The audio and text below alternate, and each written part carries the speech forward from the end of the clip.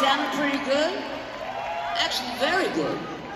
And I know um, this music stand sitting here, it's because we have a new EP out called Mindsets. We're going to do some of the songs for you tonight. Actually, the very first song you heard when we came out was new.